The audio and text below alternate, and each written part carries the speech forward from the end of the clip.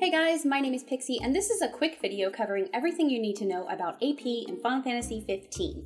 Earning AP while playing Final Fantasy XV is easier than you think, but it will still take you a hot minute to unlock every option in the Ascension trees. If you're familiar with the old saying, it takes money to make money, then you'll understand that spending AP to gain AP is the way to go. Essentially, you can earn AP for virtually every little task you're already doing while playing the game, but only if you spend the AP to unlock it. This video is going to cover the basic ways to earn AP and show you the nodes you need to unlock in the various Ascension trees in order to maximize your AP gain. If you start the game focusing on specific nodes to unlock rather than putting points into combat, for example, it will make your journey a lot easier and help you unlock more of the Ascension trees much faster. You'll want to unlock these in the order that you personally would use them. So for example, you can gain AP while fishing, but if you don't really fish that often, then you don't need to worry about unlocking that particular node right away. So let's get started. On the exploration menu, we have a few options that will help us earn additional AP. Spending 32 AP to unlock road running will give you 1 AP for every 1.25 miles that you drive. If you try to farm AP through auto driving from point A to point B, it's not worth your time, and there are more efficient ways to farm for AP, but you might as well gain a handful of AP when you do need to auto drive.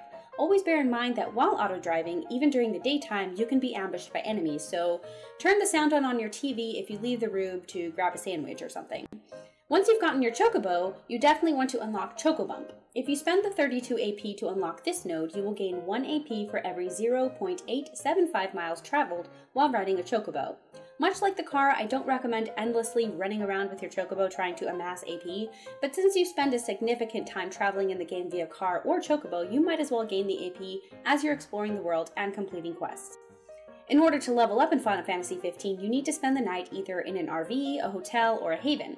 To level up quickly, you always want to try to at least double your experience gain by visiting the hotel in Galdin Quay, for example, but there are occasions in which the game makes you sleep at specific locations, some of which are havens. You can earn up to 3 AP each time you make camp after unlocking both Happy and Happier Camping. If you complete all 10 tours, this will earn you an extra 30 AP from the camp, but keep in mind it costs you 68 AP to unlock both nodes. So it might not be worth the trouble if you only spend the night at a camp when the game forces you to do so. I covered tours in my first video for this game, so feel free to watch that video if you need a little more information on the subject. You'll need to spend the night at specific havens to initiate the tours, but you'll earn 20 AP for each tour that you complete. There are 10 tours in the game for a total of 200 AP.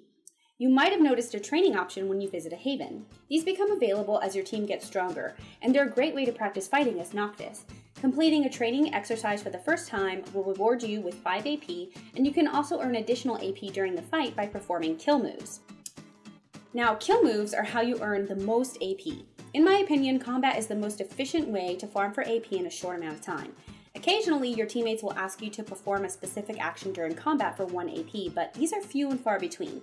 Try to complete the request, but don't expect to earn bucket loads of AP for doing this.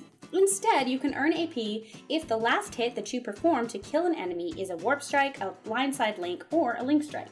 So what I like to do is find an area with a handful of mobs that I can one-shot and just warp strike, warp strike, warp strike, and end up with 8 AP in a total of 10 seconds or so. Try to fight in areas with warp points to replenish your MP so there's little downtime. If you try this early on, it's going to require a lot of legwork and running around the map, so I suggest waiting until you get the Beast Whistle. Using this whistle, you can stay in an area and resummon the monsters to fight. There's actually a better AP farming spot right at the entrance to Insomnia. The Imperials here are all level 3 to 6 with 2 mechs at level 17. So this area will give you an easy dozen AP, but the Beast Whistle doesn't seem to work on humanoids and certain really large monsters, so you can't continuously resummon for an AP farm. During normal combat, when you're not trying to farm for AP, you still want to perform a kill move to get the extra AP. If you have the wait timer enabled in the combat options menu, it will make things a lot easier. You can pause the game briefly and look for an enemy with low HP, then perform a kill move to add to your AP pool. So, as you can see, if you spend an hour or two farming, you'll be able to easily grab these nodes worth 333 AP apiece. This video would not be complete without listing every possible way to gain AP, so here's the complete list of all the different nodes you need to unlock in the Ascension menu. You can also find this list in the description below in case you need to recap. So here's my mock ascension menu. This represents the Armiger tree which you unlock during the main storyline pretty early on, usually around chapter 3. There are two nodes in this tree that cost 48 AP each. You gain 1 AP each time you conjure the Armiger, or 1 AP each time you unleash an Armiger chain. These nodes definitely pay off the more you use the Armiger, but as always, prioritize the nodes you want to unlock based off of your playstyle. So if you only use the Armiger during boss fights, you might not want to invest the 96 AP for both of these nodes. In the Magic Tree, unlock the Magic Action node for 24 AP. You will gain 1 AP every time you cast a spell, and I highly recommend picking this one up even if you don't use spells all that often. It's pretty cheap, so you can pay it off in no time, but if you're not already aware of this, you can earn extra experience points using the debased items and rare coins if you craft them into your spells. So throwing a Thundara infused with Experimagic at a Cactuar is going to give you massive amounts of experience points, plus the additional AP. Lastly, the exploration tree is where you'll want to spend most of your points early on. Again, remember to unlock these nodes in the order that you would use them. It is not necessary to spend the points on nodes that give you an additional experience, at least not right away. Feel free to unlock experience nodes in whatever order you want. They're nice to have using the same concept as AP. You gain a little now, and it adds up over time.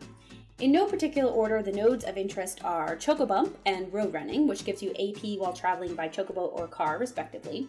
Choco Jockey will give you AP each time you win a Chocobo race. Appetize will give you 1 AP each time you cook a party member's favorite food. Aperture will give you 1 AP each time Noctis is featured in a photograph.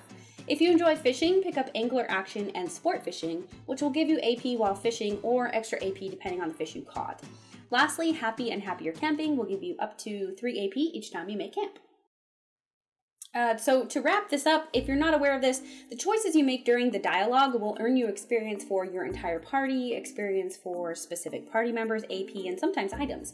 You might earn one or two AP here and there for a dialogue choice, but you won't earn too much, so don't worry about saying the wrong thing. If you're really concerned about it, you can probably find all of the answers somewhere online, or you can look them up in a strategy guide if you've purchased one.